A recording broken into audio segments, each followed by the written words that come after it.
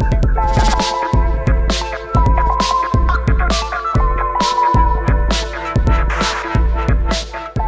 Hola amigos, sean bienvenidos a Breves del Espectáculo. Hoy les presento Majo Aguilar revela si cantará algún día con Ángel Aguilar. Alguna de las dudas más considerables que ha perdurado a lo largo de los años entre los seguidores de la familia Aguilar ha sido por fin resuelta. En una entrevista reciente, Majo Aguilar fue quien tuvo el honor de compartir si tenía o no el deseo de realizar un dueto con su prima Ángel Aguilar. Cabe destacar que desde el inicio de sus carreras se les ha atribuido como una supuesta enemistad.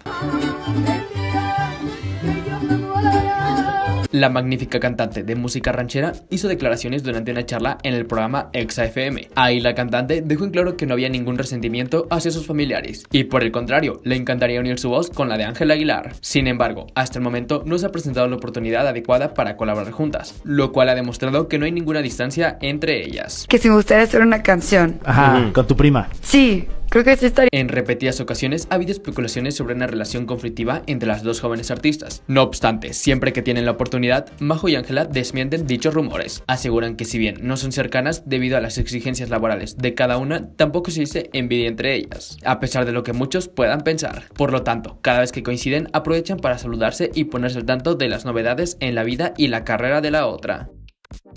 Corazón.